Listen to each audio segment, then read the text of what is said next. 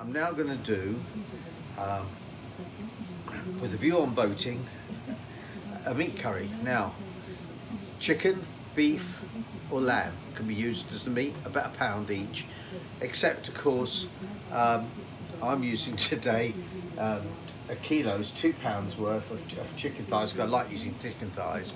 But a pound meat's what you should do.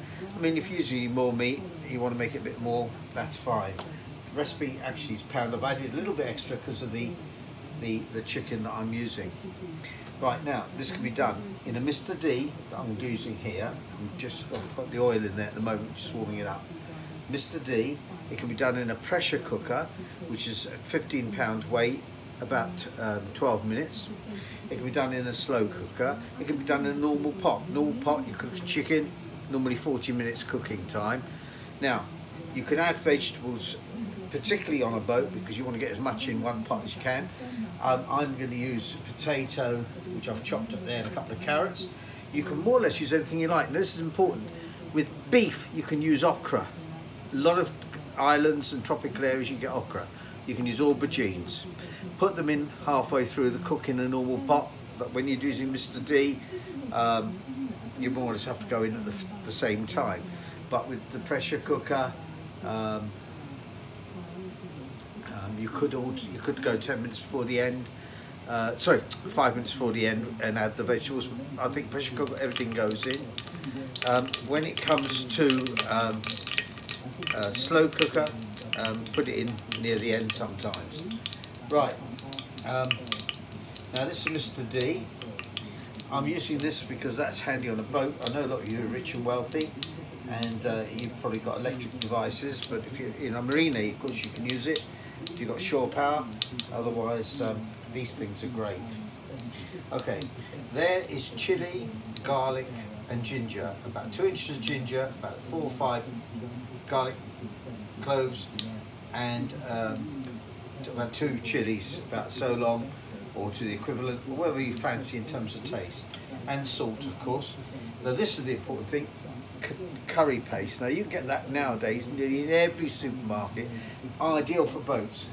And the base that I'm using here will be added to that, and it'll make a delicious curry. Now, the other thing I'm using is this uh, cinnamon, cloves, about eight. That goes in. I'm now going to put the onions. This is very useful.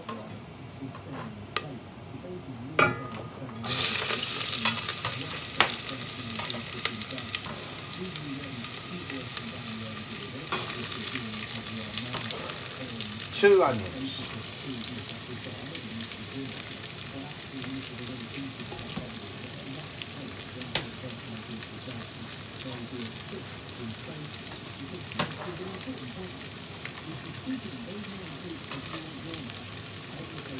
come back to that one, I've got myself sorted out. Right now, um, this is important when cooking curries. With onions, when you're doing Chinese, it's different. This is for curries. I, I, don't know if you see that, but it's it's just getting light brown around the edges. Now what I'm going to do is while it's getting light brown on the edges, I'm now going to add the garlic, ginger, chilies, and uh, they're chopped and they're added now. Now the object now, I've turned the temperature down from the onions because um, I don't want to cook them too fast. I've turned it down a bit and I'm now going to fry them till it's dark brown, the onions. It's important this in a curry, it really is. So I'll try and show you here, but whether you can see it. Basically, remember, light brown around the edges, then add your garlic, ginger and chilies and then fry until it's dark brown. What you want to do is make sure that the onions are, are if they're too light, then the onions will, will taste uh, the curry bit a light colour and it will taste sweeter.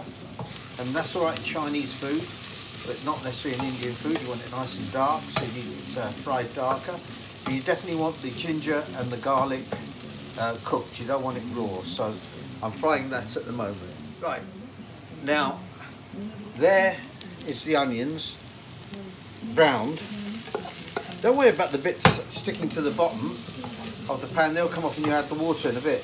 But In fact, that's a good little tip when you're wok cooking or whatever and things are sticking.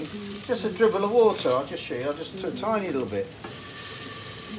There you are. And then you can start scrubbing and it'll come off. Right, now, so I've done the onions till light till dark brown. Now, I'm now taking a spoon and I'm going to add, the recipe for a pound is two teaspoons of, uh, of uh, curry powder, curry paste rather, and because I've got so much in here of vegetables and that, I'm going to add three large pieces and really use it up. So that's your curry paste. One, two, almost used it up. I don't think there'll be enough in here. But uh,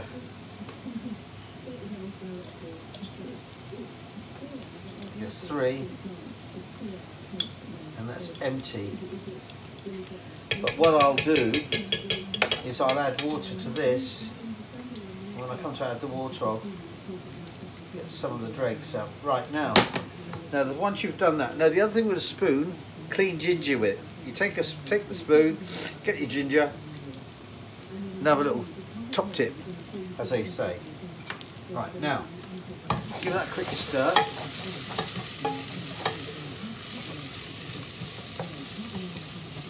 Now I'm going to add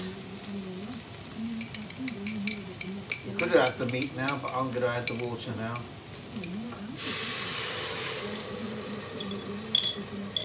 Right, water's added. Give it a bit of a rub round to get these. So that was the curry paste, quick stir around, a few seconds, a minute say, and that's it now. There you add your meat.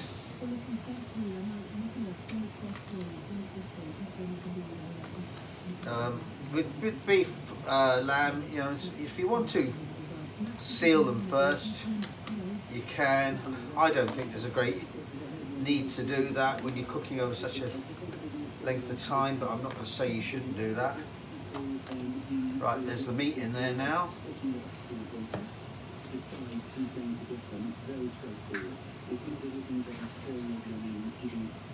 And now what, what I'm going to do is I'm going to add the vegetables. Oh, before I do that, add some salt.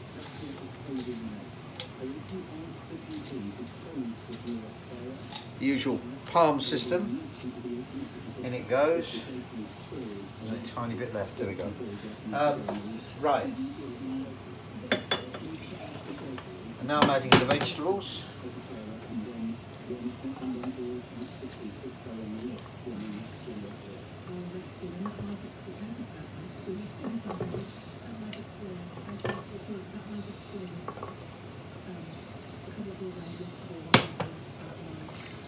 That's all right.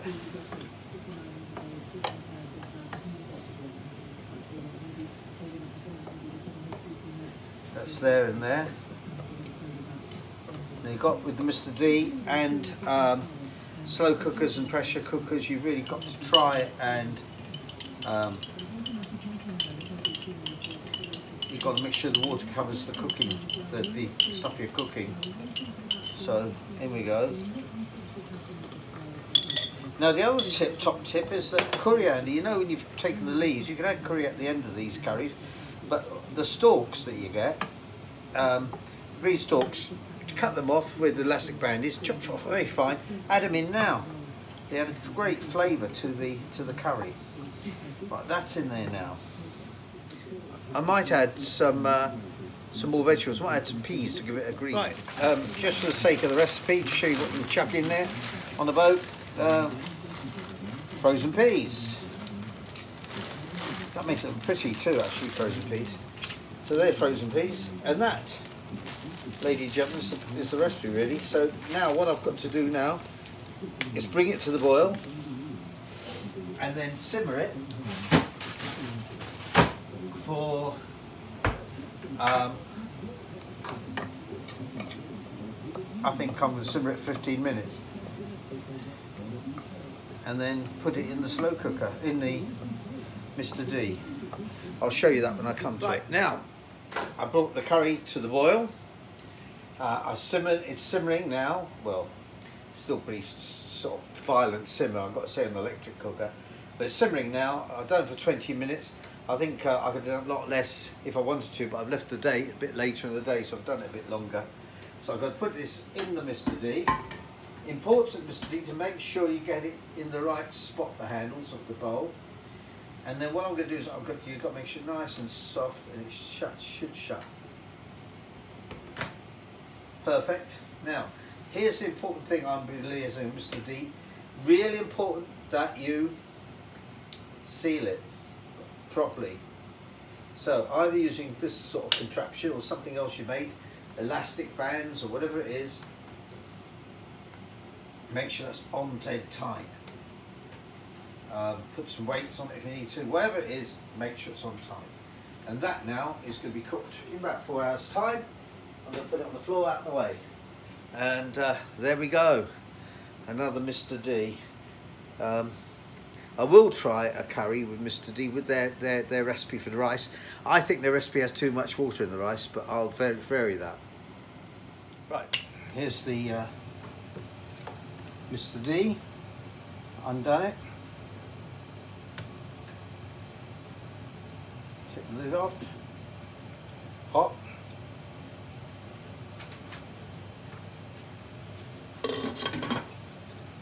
Take it out.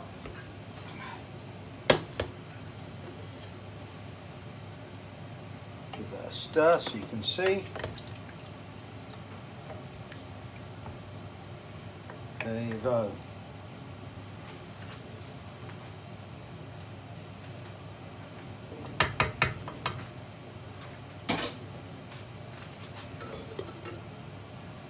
See if I can show you. They are. Chicken curry.